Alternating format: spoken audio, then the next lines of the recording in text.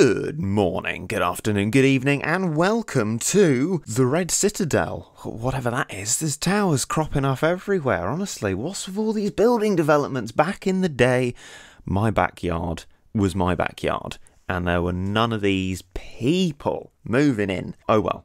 Let's see what they have to say for themselves. Red Citadel is the newest of the towers? I'm honestly haven't been abreast of the building developments, but immediately, and very excitingly, I feel, there's blue sky outside. And that's just kind of nice. It's, kind of optimistic. It's very sweet. It, it, works well. It, it makes me happy. And, you know, I'm glad for that. And there's a Peach, and, you know, that, that doesn't necessarily make me as happy. It's, it's just kind of a, a very neutral feeling that I feel as regards that. But a victory. Good. That's the first of our red enemies. And while things are still relatively easy, I think we'll move to our slot of speed and quickness and see if we can do some speed and quickness in these levels. Right, Maglev.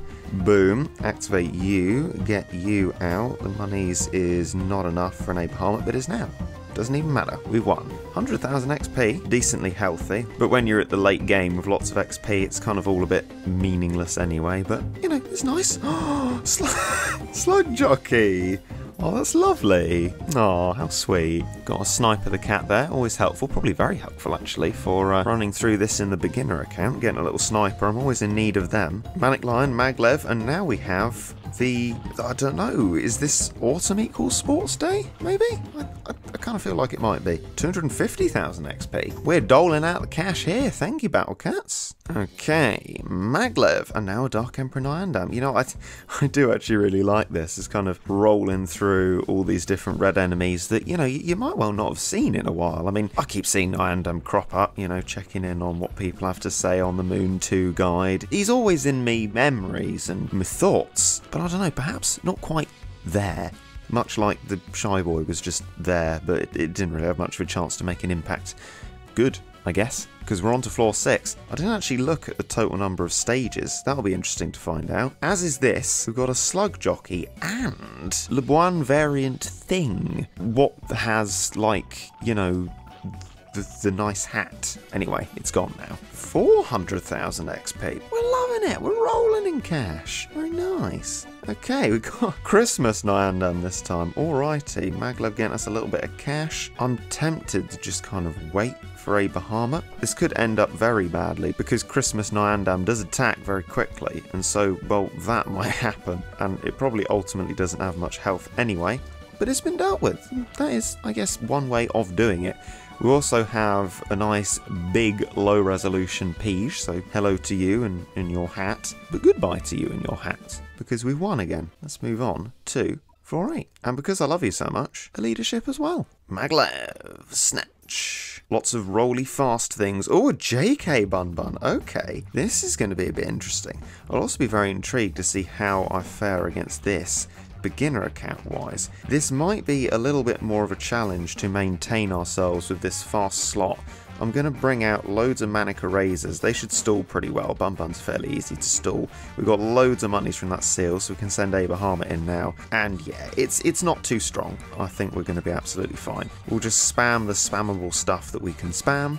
Keep going, go vroom vroom vroom, nice and quick, and we'll be laughing. Haha as they apparently say. Okay, so developments have gone a little bit sideways. The JK Bun Bun is making back space on the battlefield, and although we've just got a little bit of monies, I feel like they're going to sink away again if, well, that doesn't happen. Okay, yeah, so I shouldn't really be struggling here, and I'm not really struggling here, but after floor 8, I might perhaps move back to the original slot. 750,000 XP! Oh! Very nice rewards, very nice. I do wonder if it's just a first time thing, although everything resets, so I guess you get it every time, right? Seems like a pretty good deal. Floor 9. Oh, okay.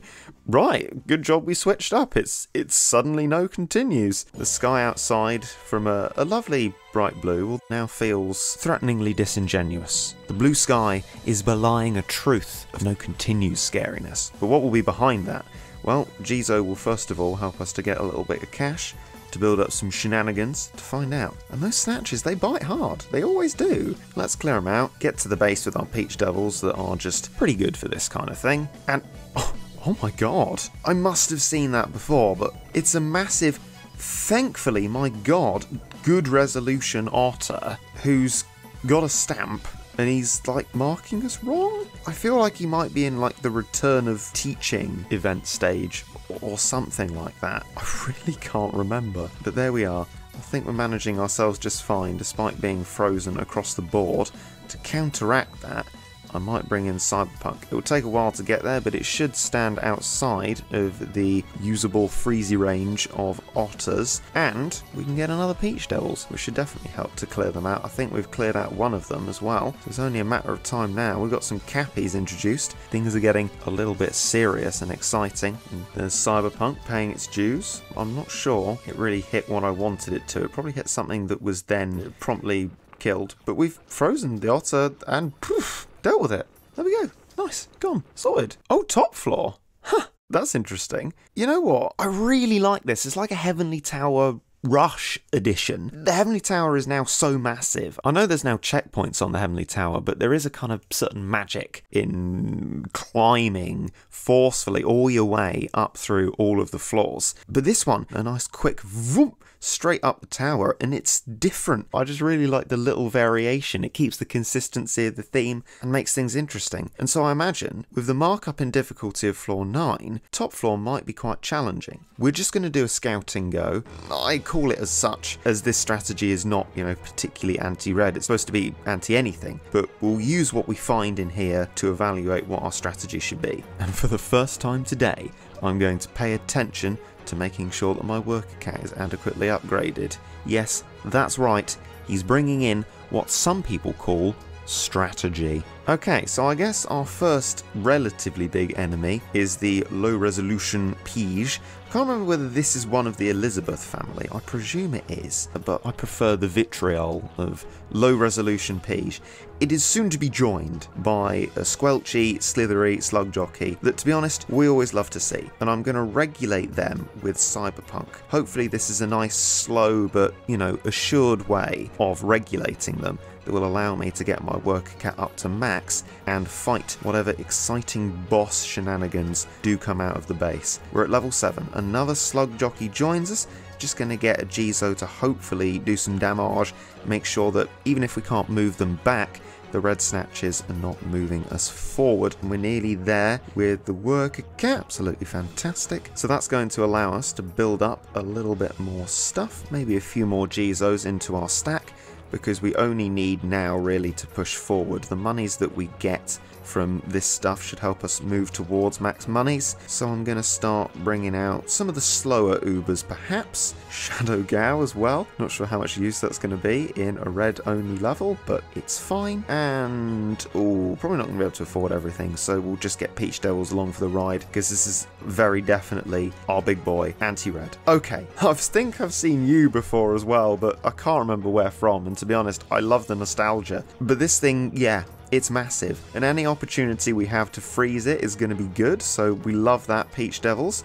We've also got a lovely bit of tankiness from our AV unit, which I appreciate. Only two meat shields might not be great, but between freezing and a not particularly fast rate of attack, I think we're actually going to be perfectly alright as we are dealing with this smug man Ramen's fairly tanky, obviously not pitched towards red enemies, but it can provide the health we need in most situations, along with two nice buff meat shields and another Peach Devils, amongst the other things that we have, including a very helpful backline Cyberpunk. This is clearly a chunky man with a hoorah, hooray, teacher bear in its arms. But what it isn't is the kind of thing that will overwhelm and stop us because we've beaten it. So this is kind of like a, a, not too much effort kind of thing that Ponos have produced for us and it's a fun little rush stage and it's something else to do and thank God it's not waiting half an hour between going on each stage. So thumbs up from me. I've enjoyed that. As quick as it was there, it disappears. And the same, perhaps, can be said for me. I will bid you goodbye and I hope you enjoyed.